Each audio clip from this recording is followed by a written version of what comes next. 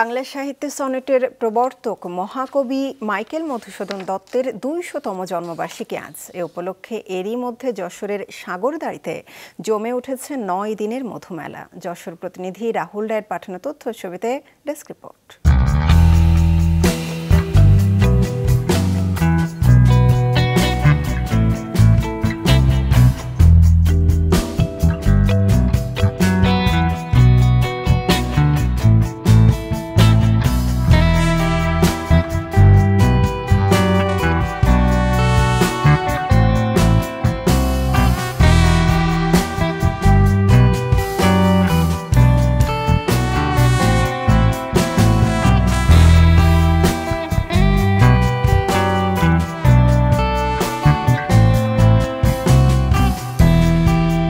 আমরা প্রতি বছরই এই মেলার জন্য অপেক্ষা করি।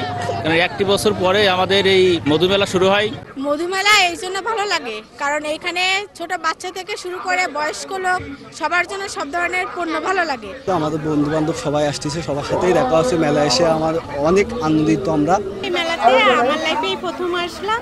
এসে দেখি অনেক আয়োজন। দর্শনার্থীদের নিরাপত্তায় কাজ করছে দুই শতাধিক পুলিশ ও আনসার সদস্য সহ বিভিন্ন গোয়েন্দা সংস্থা ও স্থানীয় স্বেচ্ছাসেবক দল। এখানে আমাদের প্রায় দুইশোর উপরে আমাদের পুলিশ রয়েছে আমাদের আনসার সদস্য রয়েছে আমাদের গ্রাম প্রতিরক্ষা বাহিনী গ্রাম পুলিশ রয়েছে এবং আমাদের ফায়ার সার্ভিসের টিম রেডিও রয়েছে। সার্বিক পরিস্থিতি মানে আমরা সকল ধরনের প্রস্তুতি নিয়েছি। বাইশে জানুয়ারি থেকে শুরু হওয়া মধুমেলা চলবে আগামী সাতাশে জানুয়ারি পর্যন্ত। Maasranga news desk.